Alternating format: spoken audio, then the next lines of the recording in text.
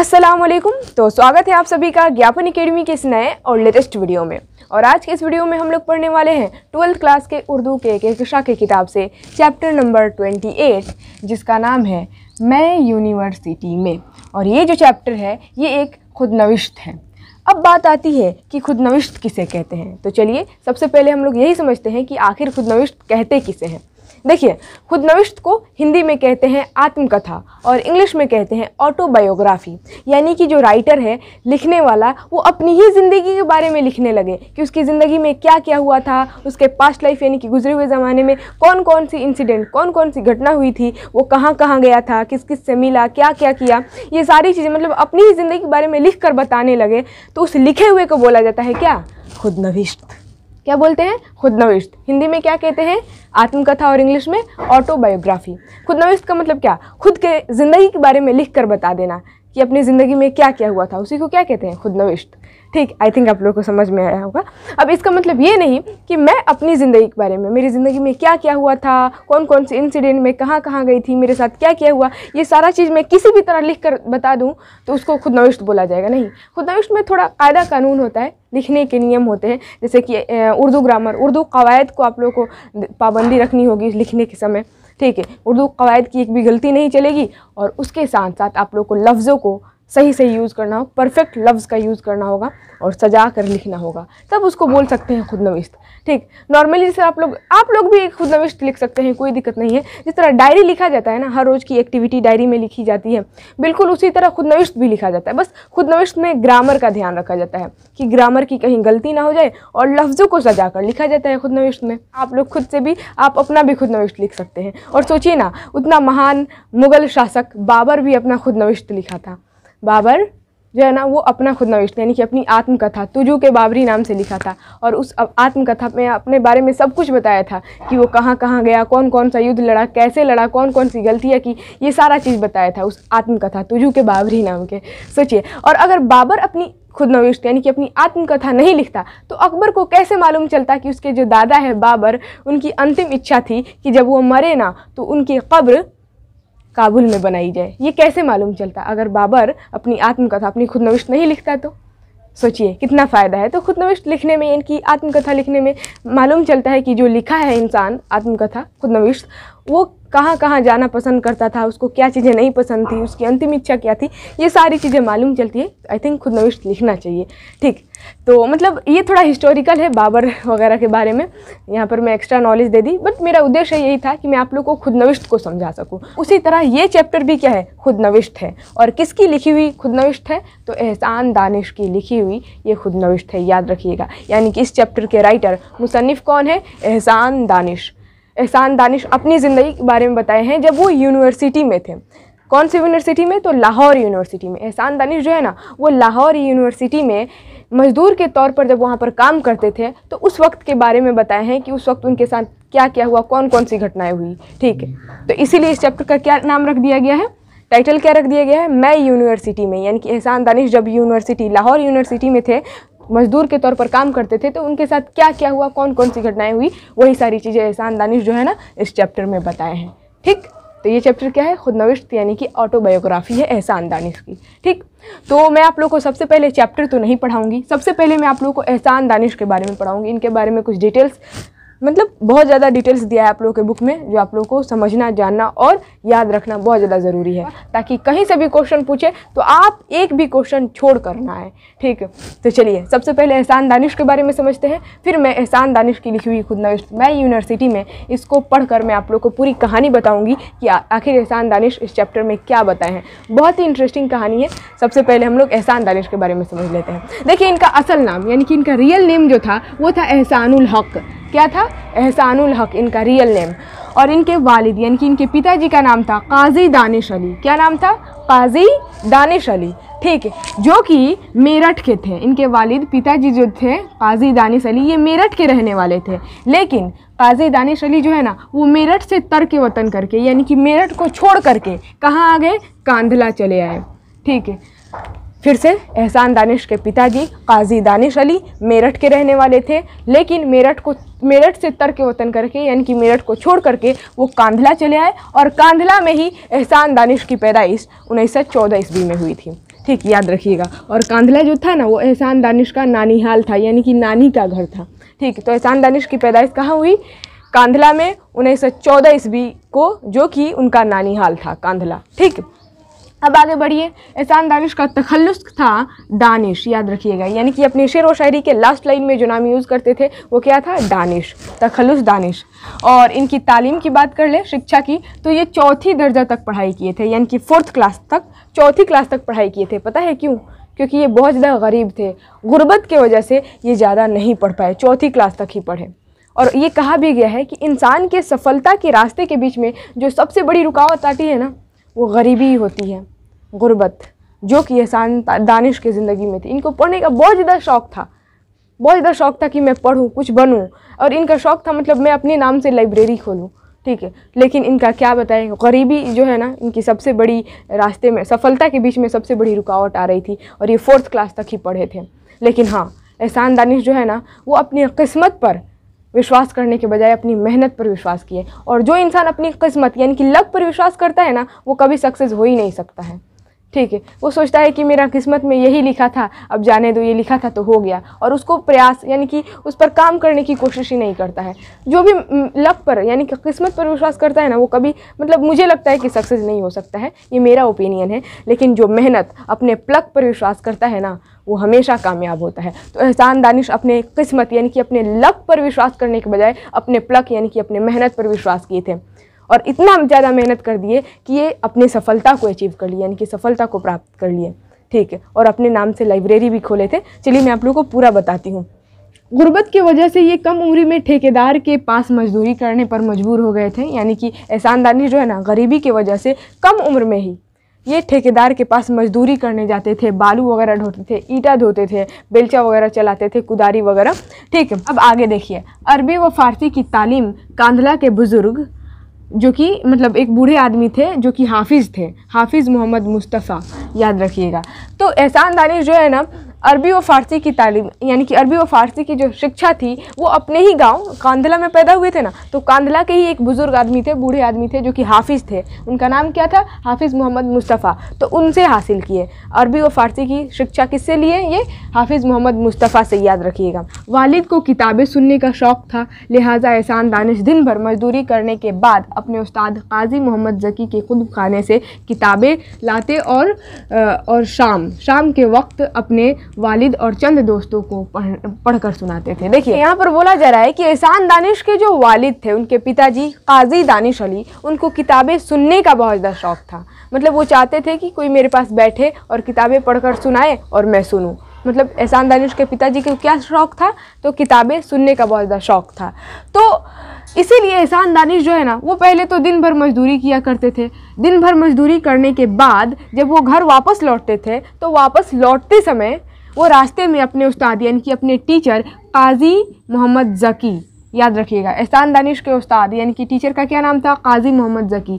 तो जब ये गुर्बत की वजह से दिन भर मजदूरी करते और मजदूरी करने के बाद वापस घर लौटते तो लौटते समय अपने उस्ताद, अपने टीचर काजी मोहम्मद जकी के खुद खाने से, यानी कि लाइब्रेरी से एक किताब निकाल लेते थे।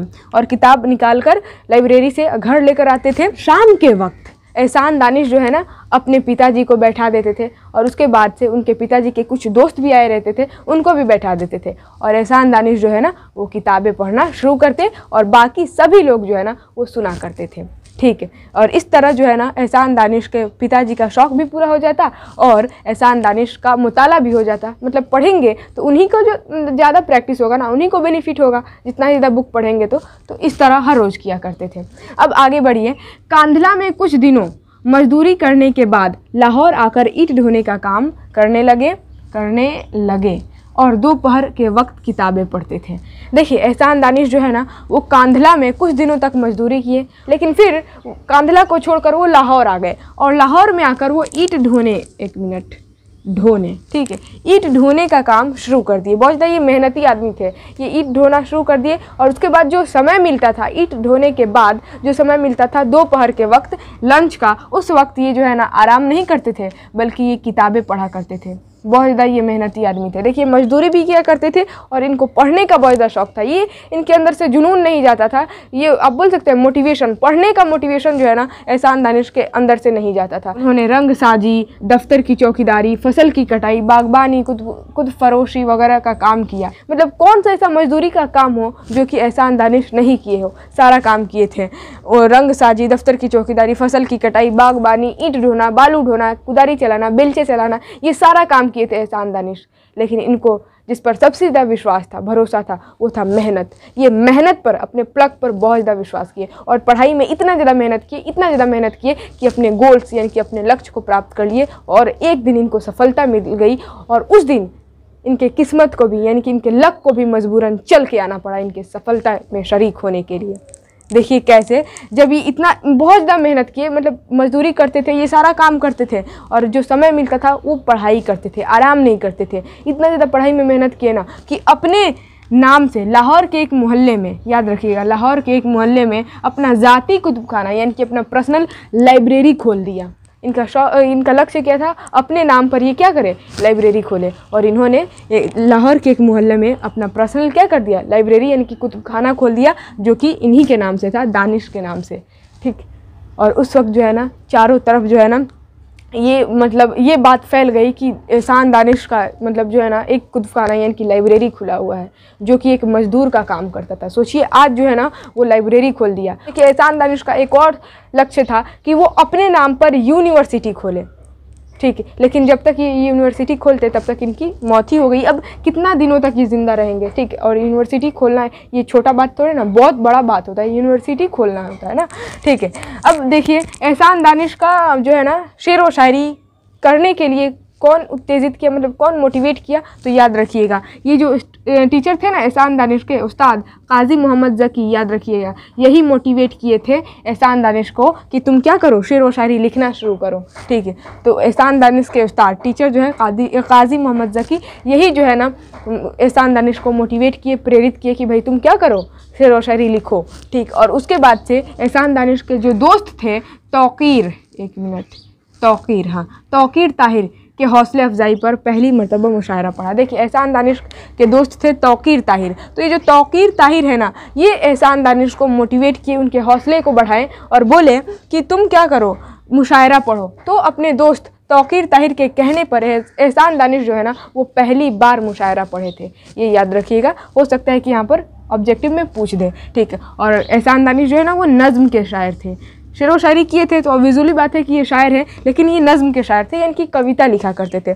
आगे बढ़िए, इनके कुछ तसानीफ़, यानी कि क्रिएशन का नाम आप लोग के बुक में दिया गया है। तसानीफ़ मतलब क्रिएशन एहसान दानिश क्या क्या क्रिएट किए क्या क्या लिखे, उसी को बोलते हैं तसानीफ़। तो देखिए, हदीस अदब, दर्द ज़िंदगी, जहान दानिश। देखिए, ये जो जहान दानिश नाम का खुद नविश थे ना, ये याद रखिएगा, ये बहुत ज़्यादा मशहूर मतलब एहसान दानिश का लिखा हुआ सबसे मशहूर खुद जहाँ ने दानिश नाम का खुद नविश्त था। ये याद रखना, ये कभी नहीं भूलना है। हो सकता है ऑब्जेक्टिव में पूछ दे कि एहसान दानिश की लिखी हुई सबसे मशहूर खुद नविश्त का नाम क्या है। तो ऑब्जेक्टिव में मतलब ऑप्शन में रहेगा जहान दानिश तो इसको टिक कर दीजिएगा। उसके बाद से जहान दिगर, जंजीर, बहारा वगैरह वगैरह। एहसान दानिश जो है ना, ढेर सारे तसानीफ, यानी कि ढेर सारे क्रिएशन क्रिएट किए थे, बहुत सारी चीज़ें लिखे थे। खुद नविश्त नज़म मतलब ये तो नज़म के शायर ही थे, कविता ढेर सारा लिखे थे ये। ठीक है और उसके बाद से इंतकाल की बात कर लें तो एहसान दानिश का इंतकाल हो गया था मार्च उन्नीस सौ बयासी ईस्वी को, लाहौर। में। ठीक? अब देखिए, यहाँ पर जो है ना मैं एक्स्ट्रा जो है ना मैं लिख दी हूँ, जो कि आप लोगों के ऑब्जेक्टिव में पक्का है कि पूछता है। देखिए, खुद नविश्त तो मैं आप लोग को समझा ही दी। खुद नविश्त किसे कहते हैं? खुद की ज़िंदगी के बारे में जब राइटर लिखता है तो उसी को बोलते हैं, उस लिखे हुए को खुद नविश्त तो जो सबसे पहली बार जो खुद नविश्त लिखा गया था ना, उसका नाम था काला पानी। ठीक, याद रखिएगा। ये ऑब्जेक्टिव में पूछता है और इसीलिए मैं एक्स्ट्रा नॉलेज के तौर पर यहाँ पर लिखी हूँ। ठीक तो उर्दू में जो सबसे पहली बार खुद नविश्त लिखा गया उसका क्या नाम था? काला पानी। किसने लिखा था? मौलाना जाफ़र थानेश्री ने। याद रखिएगा।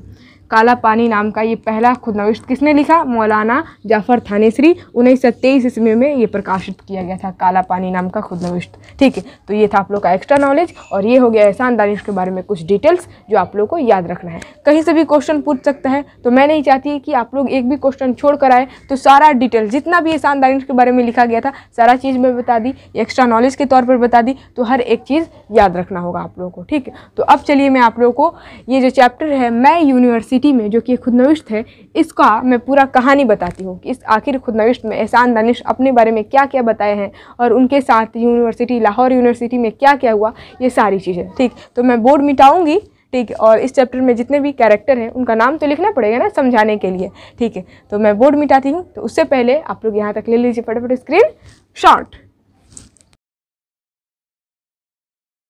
अब चलिए मैं आप लोगों को मैं यूनिवर्सिटी में नाम का ये जो खुद नविश्त है, इसकी पूरी कहानी को समझाती हूँ। बहुत ही ज़्यादा इंटरेस्टिंग मज़ेदार और अमेजिंग कहानी है। ज़रा ध्यान से सुनिएगा इस कहानी को, ठीक है? देखिए, इस कहानी में मतलब इस खुद नविश्त में एहसान दानिश तो है। भाई, वो अपने बारे में बता रहे हैं कि वो यूनिवर्सिटी में थे तो उनके साथ क्या क्या हुआ तो वो तो रहेंगे ही इस कहानी में मतलब इस खुद नविश्त में तो वो रहेंगे ही। लेकिन उनके अलावा और भी बहुत सारे लोग हैं, जिनका नाम और जिनके बारे में एक एक करके बताऊँगी जैसे जैसे कहानी आगे बढ़ता जाएगा, नाम आते जाएगा। और भी लोगों का। ठीक है तो देखिए इस खुद नविश्त यानी कि इस चैप्टर की शुरुआत में एहसान दानिश बता रहे हैं कि एक बुद्धू नाम का मिस्त्री था। क्या नाम था उसका? बुद्धू। बुद्धू नाम का मिस्त्री था जो कि बहुत ज़्यादा शरीफ और मेहनती था। वो कभी भी मुझसे अच्छा से बात किया करता था। जब भी, भी मुझसे मिलता था ना बहुत ही अच्छे तरीके से बात किया करता था और वो अपने काम को लगन के साथ करता था और बहुत ज़्यादा मतलब वो मेहनत करता था शरीफ भी था।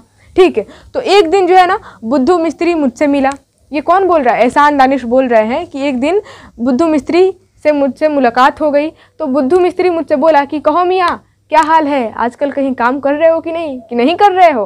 कहीं काम चल रहा है? ठीक तो एहसान दानिश बुद्धू मिस्त्री से बोले कि, कहाँ? दो तीन दिन से तो काम ही नहीं चल रहा है।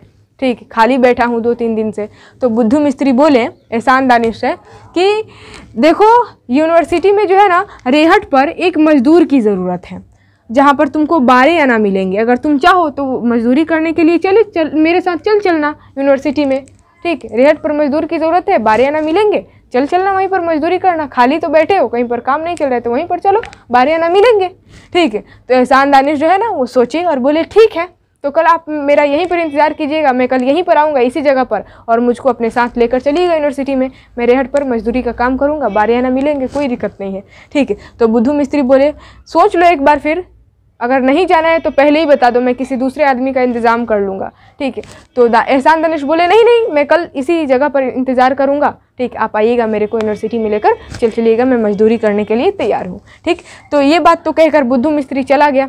लेकिन एहसान दानिश को ऐसा लग रहा था कि रेहट पर ही ना काम करना है मुझे, गाय भैंस को चराने का काम करना है। मतलब इनको रेहट का मतलब समझ में आ रहा था कि गाय भैंस के चराने वाली कोई जगह है। जहाँ पर मुझको क्या करना है? गाय भैंस को चराना है। तो ये तो बहुत ज़्यादा आसान काम है। मैं हाँक दूँगा गाय भैंस को, वो चरती रहेंगी और बाकी समय मैं तो बैठा रहूँगा। तो मैं किताब लेकर जाऊँगा और पढ़ूँगा। ठीक, इन, ये मतलब इनको लग रहा था। इनको क्या लग रहा था? रेहट का मतलब ये गाय भैंस चराने वाली जगह को समझ रहे थे। और ये समझ कर ये बहुत ज़्यादा खुश थे कि ज़्यादा मेहनत वाला काम नहीं है। ठीक, सिर्फ़ गाय भैंस को हाँक दो, वो चरती रहेंगी और मैं पढ़ूँगा। इस तरह गाय भैंस भी चढ़ लेंगे, मैं पढ़ भी लूँगा, मजदूरी भी मिल जाएगी। ये बहुत ज़्यादा खुश थे।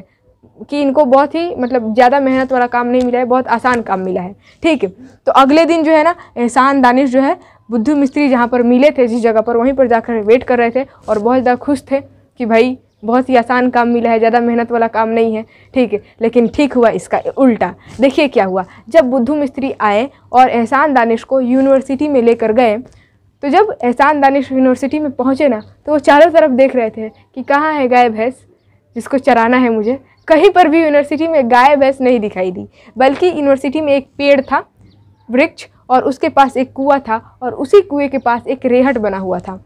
तब बुद्धू मिस्त्री समझाए, एहसान दानिश को देखो, एहसान दानिश, ये कुएँ के पास रेहट बना हुआ है। रेहट देखिए, अब यहाँ पर रेहट का मतलब क्या होता है? रेहट का, रेहट जो है ना, वो एक मशीन है, तकनीक, टेक्निक है, जिसके ज़रिए से कुएँ से पानी निकाला जाता है।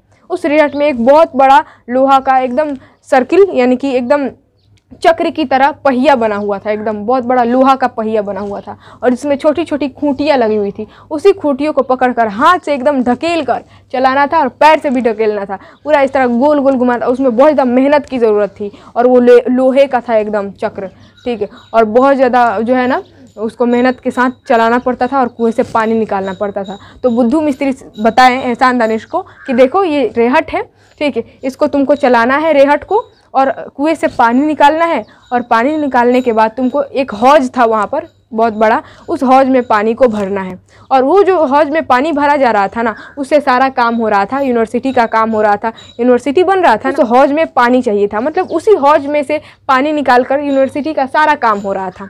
तो तुमको क्या करना है? इस रेहट को चला चला कर कुएँ से पानी निकालना है और इस हौज को हमेशा भरे रखना है, ताकि काम ना रुके। यूनिवर्सिटी का काम होते रहे, इसी हौज में से पानी लिया जा रहा है। ठीक, ये सारा चीज़ एहसान दानिश को बुद्धू मिस्त्री समझाए और बोले कि देखो, तुम्हारे जैसा एक और आदमी आ रहा है जो कि ये रेहट चलाता है, ठीक है?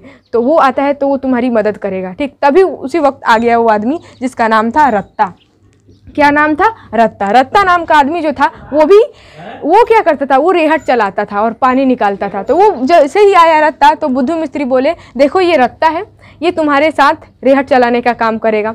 कुछ देर ये चलाएगा, फिर कुछ देर तुम एहसान दानिश तुम चलाना। फिर कुछ देर तुम चलाना, फिर कुछ देर ये मतलब रुक रुक कर चलाना। है अपना समय बांट लेना, कितना कितना घंटा चलाओगे, ठीक? और तुम दोनों ये रेहट चलाने का काम करोगे और इस हौज को हमेशा भरे रखोगे पानी से, ताकि यूनिवर्सिटी का सारा काम हो, ठीक?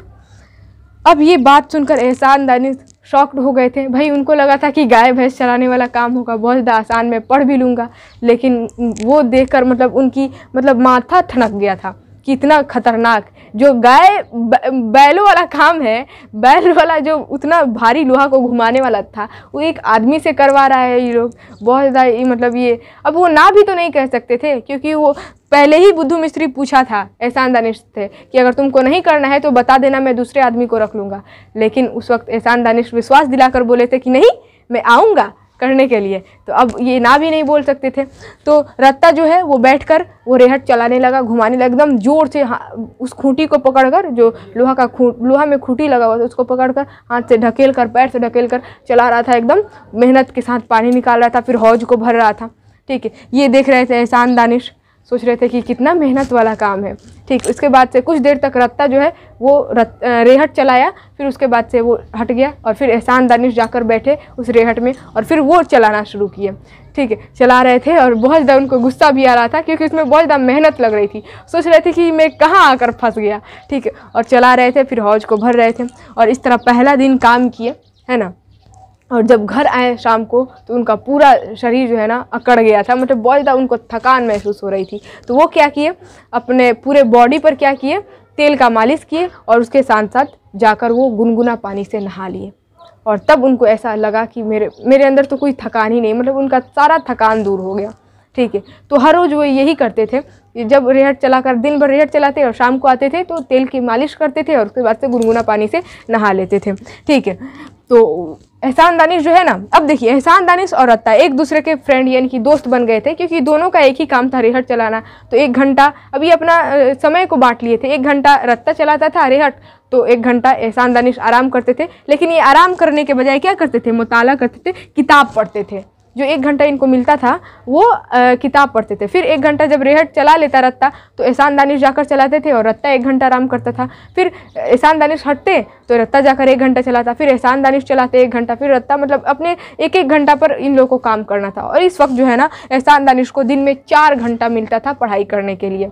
ठीक है? तो वो चार घंटा पढ़ते थे क्योंकि चार घंटा वो आराम करने के बजाय वो पढ़ा करते थे। ठीक तो इस तरह जो है होता था काम और ये हर रोज़ का आप बोल सकते हैं जॉब बन गया था, एहसान दानिश और रत्ता दोनों मतलब बेस्ट फ्रेंड बन गए थे, ठीक और कभी कभी ऐसा होता था कि एहसान दानिश पढ़ते पढ़ते सो जाते थे और एक घंटा से ज़्यादा हो जाता था, लेकिन फिर भी जो है ना रत्ता एहसान दानिश को नहीं जगाता था। उसको देखिए, बहुत ज़्यादा दयालु था रत्ता। वो सोचता था कि क्या जगह है वो बेचारा कितना अच्छा सो रहा है एहसान दानिश। जगाऊँगा, उसकी नींद खराब होगी, बेचारा पढ़ते पढ़ते सो गया है। मैं ही एक्स्ट्रा चला दे रहा हूँ, रेहट, ठीक है। तो इस तरह जो है ना, एहसान दानिश और जब एहसान दानिश सोए सोए रहते थे तो ठेकेदार भी आता था ना तो देखता था कि वो सोया हुआ है। रत्ता से पूछता था, वो क्यों सोया हुआ है? वो तो रत्ता जो है झूठ बोल देता था कि, भाई, वो अभी सोया हुआ है, ठीक, अभी तो गया, अभी मैं आया रेहट चलाने के लिए, अभी वो जाकर सोया है तो सो लेने दीजिए, ठीक, जब उसका समय होगा तो मैं उठा दूँगा और फिर ठेकेदार चला जाता था तो एहसान दानिश जब जगते थे तो रत्ता बताता था कि, देखो ठेकेदार आए थे, पूछ रहे थे तो तुम क्यों सोए हो? तो मैं झूठ बोल दिया कि तुम अभी सोए थे। ठीक। और इस तरह मतलब जो है ना, एहसान दानिश की रत्ता बहुत ज़्यादा मदद करता था, हेल्प करता पढ़ाई करने में। रत्ता बोलता था कि, अब जो है ना, मैं एक घंटे के बजाय दो घंटा काम करूँगा और तुम दो घंटा लगातार पढ़ो। ठीक। और एहसान दानिश बहुत ज़्यादा खुश थे कि, ये कितना अच्छा फ्रेंड है मेरा कि मेरी बहुत ज़्यादा हेल्प कर रहा है। तो इस तरह जो है ना रत्ता एक घंटा के बजाय दो घंटा काम करता और एहसान दानिश जो दो घंटा पढ़ते थे और एहसान दानिश एक ही घंटा रेहट चलाते थे। ठीक? और देखिए रत्ता के बारे में जो है ना एहसान दानिश लिखे हैं कि रत्ता बहुत ज़्यादा सीधा साधा खूबसूरत और गठीले बदन का नौजवान था। ठीक? देखिए राजपूतानी ख़ानदान से था और एहसान दानिश ये बोल रहे थे, सोच रहे थे कि पता नहीं रत्ता के माँ बाप की कौन सी मजबूरी रही होगी जो कि रत्ता को इतने ख़राब जगह पर, इतना मतलब मेहनत वाल, मेहनत वाला काम करने के जगह पर भेज दिए इतना मेहनत वाला काम करने के लिए। पता नहीं राजपुताना खानदान का है, लेकिन फिर भी इसके माँ बाप की क्या मजबूरी रही होगी जो कि इतने मतलब इतना मेहनत वाला काम इनको दे दिए। ठीक है तो यही सोच रहे थे एहसान दानिश, ठीक है? और एहसान दानिश रत्ता काम करते दोनों, और दिन भर रिहट चलाते थे, एहसान दानिश पढ़ा भी करते थे, इसी तरह बीतते गया समय। लेकिन एक दिन जो है ना, रत्ता नहीं आया काम पर। रेहट चलाने के लिए रत्ता नहीं आया। एहसान दानिश अकेले थे उस दिन, ठीक है? तो उस दिन जो है ना, मुंशी का लड़का, मुंशी जो है ना, अपने लड़के को भेज दिया कि जाओ, तुम रत्ता की जगह पर तुम रेहट चलाना। एक ही दिन एहसान दानिश के साथ मुंशी का लड़का काम किया था उस रेहट पर, याद रखिएगा, एक ही दिन काम किया, जिस दिन रत्ता नहीं आया था। ठीक है। और उसके बाद से जब अगला दिन हुआ तो अगला दिन जो है ना, एहसान दानिश अकेले काम कर रहे थे। मुंशी का लड़का भी नहीं आया रेहट पर काम करने के लिए। वो अकेले रेहट चला रहे थे, एहसान दानिश। ठीक है। और उसी दिन, अगले ही दिन मालूम चला कि रत्ता जो है, वो उसकी मौत हो गई है। चारों तरफ़ ये शोर मच गया कि रत्ता की मौत हो गई। रत्ता इंतकाल कर गया। उसको चार पाँच खून के दस्त आए और उसकी मौत हो गई। जब ये बात एहसान दानिश सुने तो इनके दिल को बहुत ज़्यादा शौक लगा। ये अचानक, ये मतलब शॉक्ड हो गए कि अचानक रत्ता की मौत। मतलब रत्ता इनका बेस्ट फ्रेंड बन गया था। इनका रोंगटा खड़ा हो गया। ठीक, ये स्टॉक में पड़ गए कि रत्ता की मौत कैसे हो सकती है। चार पाँच खून के दस्त सुने थे कि आया था और उसके बाद मौत हो गई। मतलब इनका सारा जो है ना, रत्ता के साथ बिताया हुआ पल याद आने लगा है शानदानिश को। बहुत ज़्यादा ये रोए भी थे एहसान दानिश रत्ता की मौत पर। बहुत ज़्यादा अफसोस किए थे। सोचते थे कि मेरा तो एक वही बेस्ट फ्रेंड था जो कि मेरी मदद करता था। एक घंटा के बजाय दो घंटा रेहट चलाता ताकि ताकि मैं पढ़ सकूँ। लोग खास लोग जो होते हैं वो क्यों इतना जल्दी छोड़कर चले जाते हैं? यही सोच रहा था। सो, सोच रहे थे एहसान दानिश जो ठीक है? अब देखिए क्या हुआ। रत्ता की तो मौत हो गई। एहसान दानिश अब अकेले आकर रेहट चलाते थे चलाते थे। और उसके बाद से मुंशी जो है, वो अपने लड़के को भेज, फिर से भेजने लगा। मुंशी का लड़का फिर से रेहट चलाने के लिए आ गया, ठीक है? वो भी रेहट चलाता था, ठीक है? लेकिन एक दिन क्या हुआ? मुंशी के लड़के को भी खून का दस्त आ गया। तो मुंशी जो है अपने लड़के को भेजा ही नहीं रेहट पर काम करने के लिए। और चारों तरफ़ ये शोर मच गई, ठीक है? ये मतलब चारों तरफ़ बात फैल गई कि रेहट पर कोई काम करने के लिए ना जाए। जो भी रेहट पर काम करने के लिए जा रहा है ना, उसके खून के दस्त आने लग रहे हैं। बहुत ज़्यादा मेहनत वाला काम है। लोहा का पहिया चलाना है। उससे क्या हो रहा है? बॉडी पर बहुत ज़्यादा इफ़ेक्ट पड़ रहा है और खून के दस्त आने लग रहे हैं। कोई ना जाए काम करने के लिए। चारों तरफ़ ये बात फैल गई। अब बेचारे अकेले एहसान दानिश रेहट चलाते थे और हौज को भरते थे। तो एहसान दानिश से बोला गया, जो ठेकेदार आया वो बोला कि देखो, तुम ही अकेले बचे हो, एक काम करो, तुम दूसरे मजदूर का तुम ही काम कर लो और तुमको डबल क्या कर दिया जाएगा? पेमेंट कर दिया जाएगा। तुम बारह आने की जगह चौबीस आना लेना, लेकिन जो दूसरा मजदूर है, उसका काम तुम ही करो, यानी कि तुम ही अकेले दिन भर रेहट चलाओ, है ना? तो एहसान दानिश बोले, ठीक है। वो सोच समझ कर बोले कि, ठीक है, कोई दिक्कत नहीं है, मैं ही अकेले चलाऊँगा, ठीक है? बारह, चौबीस आना मिलेगा। तो ये मान गए एहसान दानिश और उसके बाद से ये अकेले रेहट चलाते थे। और हर रोज़ का मतलब इनका यही काम था अकेले रेहट चलाते और इनको पैसा मिलता और उसके साथ साथ धीरे धीरे अब ये, हर रोज़ ये रेहट चलाते धीरे धीरे यूनिवर्सिटी का काम जो है ना, कम होने लगा। के बाद से छुटकारा मिल गया इस तरह के जॉब से एहसान दानिश को, ठीक है। और उसके बाद से एहसान दानिश जो है ना राज मिस्त्री अकबर के साथ काम करने लगे। रेहट चलाने का काम खत्म हो गया तो ये राज मिस्त्री का काम पर लग गए। राज मिस्त्री थे अकबर, वो अपने साथ एहसान दानिश को लेकर जाते थे राज मिस्त्री का काम करने के लिए दीवार वगैरह, जुड़ाई का काम करने के लिए। तो देखिए, एहसान दानिश राज मिस्त्री का भी काम किए थे, ठीक? और उसके बाद से, बहुत सालों के बाद, बहुत वर्षों के बाद, उसी यूनिवर्सिटी में, यही लाहौर यूनिवर्सिटी में, वो एक एग्ज़ामिनर यानी कि परीक्षक के तौर पर आए थे एग्ज़ाम लेने के लिए। तो सभी लोग देख कर मतलब रिकॉग्नाइज कर रहे थे एहसान दानिश को। लग रहा है कि ये वही मजदूर है एहसान दानिश। सब लोग ये मतलब पहचान रहे थे एहसान दानिश को। लग रहा है ये एहसान दानिश है। तो सभी लोग जो है एहसान दानिश से जाकर पूछे कि, आप एहसान दानिश है क्या? जो कि यूनिवर्सिटी में मजदूर का काम किए थे। तो एहसान दानिश बोले, जी, बिल्कुल, मैं वही एहसान दानिश हूँ जो इसी यूनिवर्सिटी में एक मजदूर का काम किया करता था। आज देखिए, आज मैं बहुत सालों के बाद इसी यूनिवर्सिटी में एग्ज़ामिनर के तौर पर आया हूँ। तो सोचिए, कितना ज़्यादा एहसान दानिश मेहनत किए होंगे पढ़ाई करने में। मेहनत इतनी खामोशी से करो ना कि कामयाबी शोर मचा दे चारों तरफ़। और वही किए थे एहसान दानिश। खामोशी से ये मेहनत किया करते थे, मजदूरी भी करते थे और मेहनत करते थे। और जिस यूनिवर्सिटी में ये मजदूर का काम किए थे ना, उसी यूनिवर्सिटी में बहुत सालों के बाद ये एग्ज़ामिनर के तौर पर आए। एकदम एंट्री ज़बरदस्त हुई इनकी और सभी लोग देखकर चौंक उठे और सभी लोग के मतलब चारों तरफ़ ये बात फैल गई, देखो, वो वो एहसान दानिश जो कि इसी यूनिवर्सिटी में मजदूर का काम करता था, आज वही एग्ज़ामिनर बनकर आया है। सभी लोग चौक उठे थे, खुश थे। और एहसान दानिश, इनको तो और भी ज़्यादा खुशी होगी। भाई, ये अपनी सफलता को अचीव किए थे। सफलता जिसको मिल जाती है, वो बहुत ज़्यादा खुश होता ही है। ठीक तो इस तरह जो है ना, एक एहसान दानिश, जो कि एक बहुत ज़्यादा गरीब, गुर्बत में रहने वाले आदमी थे, बहुत ज़्यादा गरीब थे। वो मज़दूरी के साथ साथ मेहनत भी किया करते थे और जिस यूनिवर्सिटी में वो एक मज़दूर का काम करते थे, उसी यूनिवर्सिटी में वो एक एग्ज़ामिनर के तौर पर आए और सभी लोगों को शॉक्ट कर दिए। ठीक है सोचिए कितना मेहनत किए थे। ठीक इसीलिए मैं आप लोगों को भी कहूँगी कि मेहनत इतनी खामोशी से कीजिए ना कि कामयाबी आपकी शोर मचा दे चारों तरफ़। और तब सब लोगों को मालूम चले कि अच्छा ये है।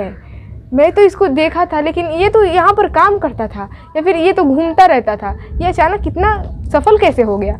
इस तरह होना चाहिए। इतना ज़्यादा मेहनत कर दीजिए पढ़ाई में कि सभी लोग सोचे कि ये टॉप कैसे आ गया।